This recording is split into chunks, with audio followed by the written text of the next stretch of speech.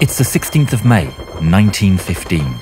In the trenches of northern France, the 1st Battalion of Highland Light Infantry of the British Army wait anxiously against the parapet.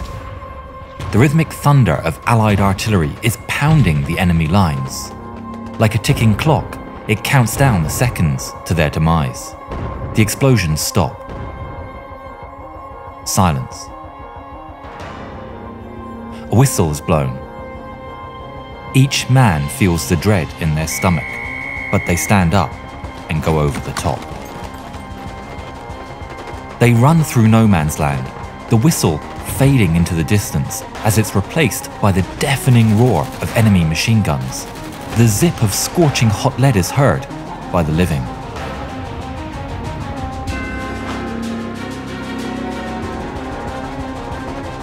But bullets also hit their mark, and men fall into the mud without hearing a thing. Barbed wire claws, but enough brave Highlanders make it to the enemy trench. The fight is brutal. The Highlanders know there can be only one winner today. And they take the trench from the Germans, at least a section of it. Barricades are set up inside the trench, and the fight continues.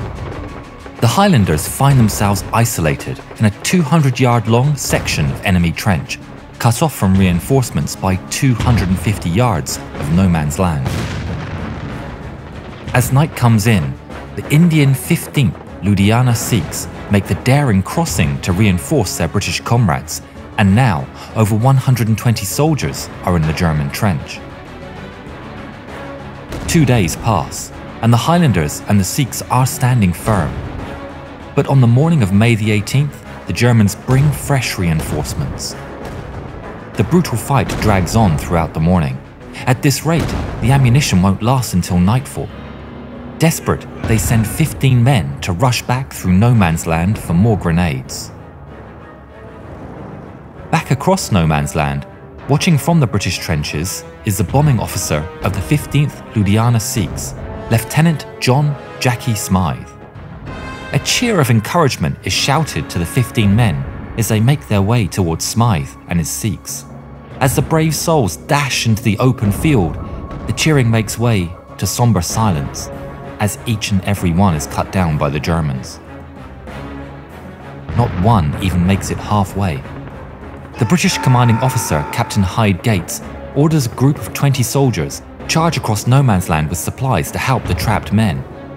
Once again, Smyth and his Sikhs watch as the men bravely throw themselves into the danger, willing them to succeed. But again, none make it through. The Germans are determined to stop any help being given. Hyde Gates calls Smyth.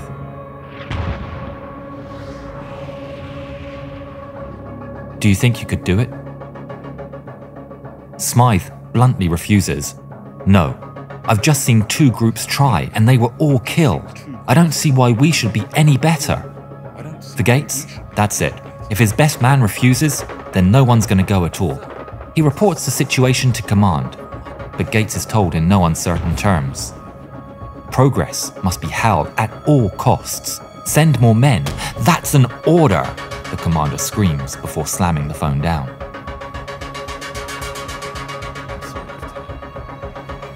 With a heavy heart, Gates calls Smyth again.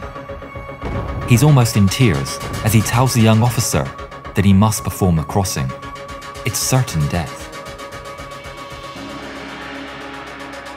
With the orders, Smyth gathers the entirety of the 4th Company, over 115 men, and asks them if any can see fit to volunteer for the extremely dangerous mission.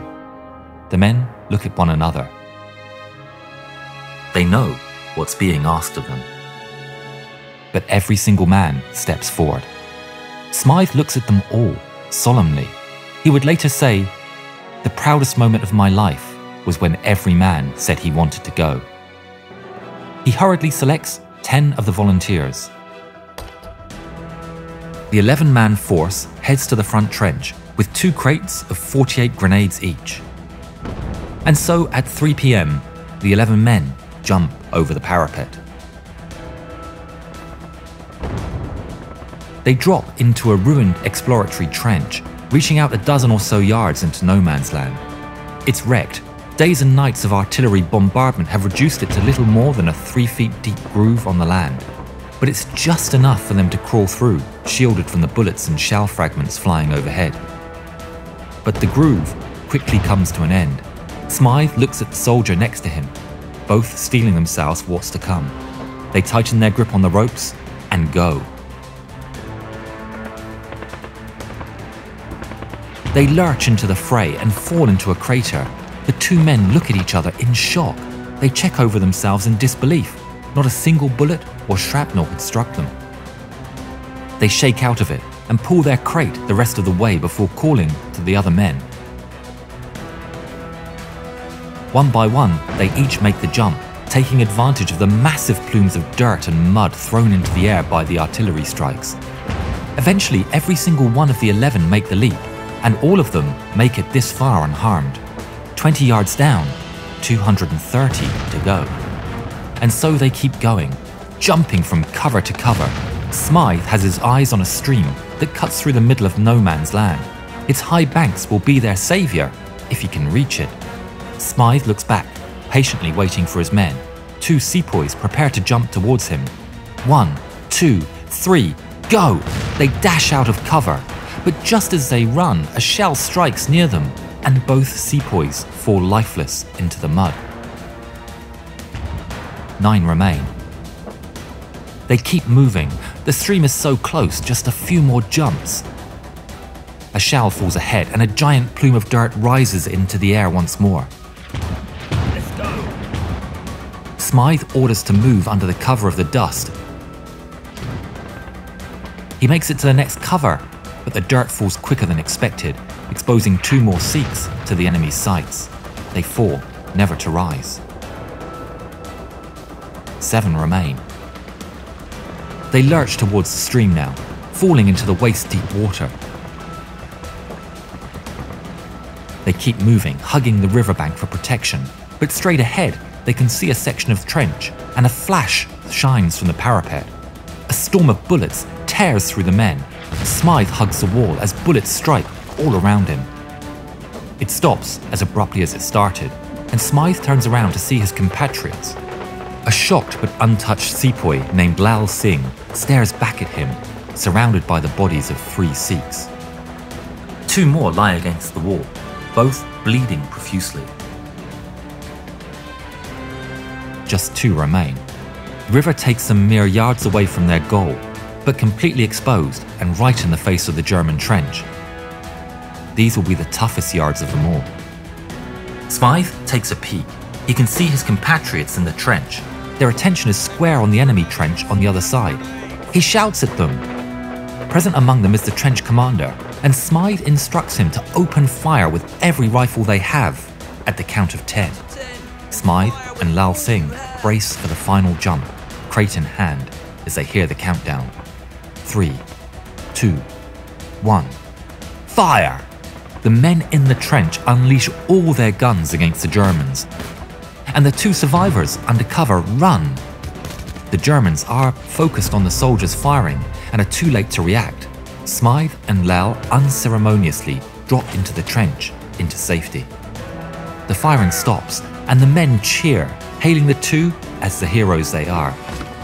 The 48 grenades are instantly put to work, the men throwing them over the barricades to dissuade any would be assailants. The grenades were enough to get the besieged men to nightfall, when further resupply was provided. Under the cover of nightfall, Smyth made it back to his trench. There, waiting for him on the parapet, was his orderly, Ishar Singh. Despite Smyth's death being reported long before, Ishar continued to sit and waited patiently, certain in the knowledge that his commanding officer would return. Standing up, Ishar saluted and sang out loudly and proudly the Sikh war cry. Lieutenant John Smyth would be awarded the Victoria Cross for his actions on that day. When talking about the events, he said, What kept me going was the courage of my men I gave them leadership, and they gave me support. I wouldn't have dared go back, even if I wanted to, with them treading on my heels. He peacefully passed away in his home in Marylebone, London, on the 26th of April 1983, aged 89. If you haven't yet, please subscribe to the channel and please watch more videos of ours. Thank you.